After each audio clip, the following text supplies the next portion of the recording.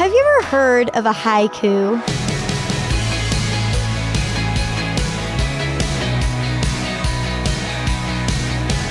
Hi there, I'm Natty Anderson, and you're listening to Unlocked, your daily key to unlocking God's Word in your life. In high school, I got into poetry, reading the greats, memorizing, and writing a fair share of my own. And haikus were something I never quite mastered. But I think they have the potential to spark some very beautiful and unique words. If you're interested in haikus, you gotta stick around for today's Devo, God's Delight by G. Cam Congleton. My 12th grade English teacher taught me to love haiku, a form of poetry that originated in Japan. These short, three line poems are traditionally drawn from nature, and they're only 17 syllables long. He described haiku as transforming a visual image into a word snapshot. For example, after reading Psalm 42, I wrote this haiku poem. Beneath the fearsome waves I wait, breathless and still. Then your light breaks through.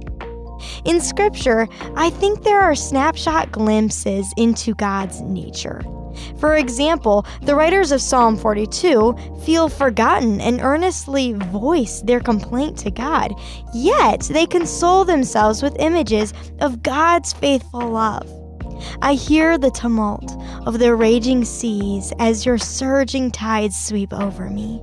But each day the Lord pours his unfailing love upon me, and through each night I sing his songs. Those are verses 7 through 8. Other passages show us vibrant images of God's love, like Zephaniah 3:17, where God declares he will take delight in you with gladness and rejoice over you with joyful songs. And Isaiah describes God delighting in his people as a bridegroom rejoices over his bride anticipating the heavenly celebration of the wedding feast of the Lamb, when all God's people will rejoice with him at Jesus' return, as we read in Revelation 19 6 through 9. Now, those are images to treasure. God rejoicing in all heaven, celebrating with such joy that Revelation says the sound will be like the shout of a vast crowd or the crash of loud thunder. All because of our wonderful Lord Jesus, who cherishes us, his bride.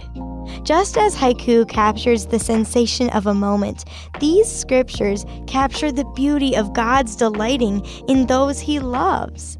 Are we worth all that? Jesus says yes. He gave his life because of such delight, such love for us.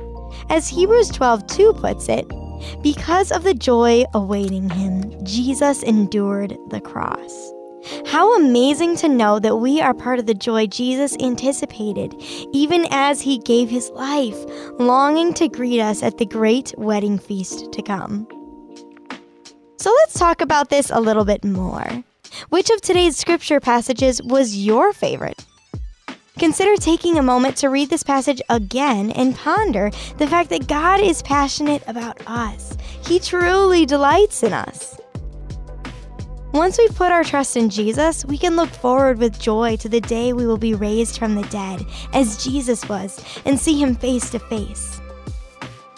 If you want to know more, click the Know Jesus tab at unlocked.org.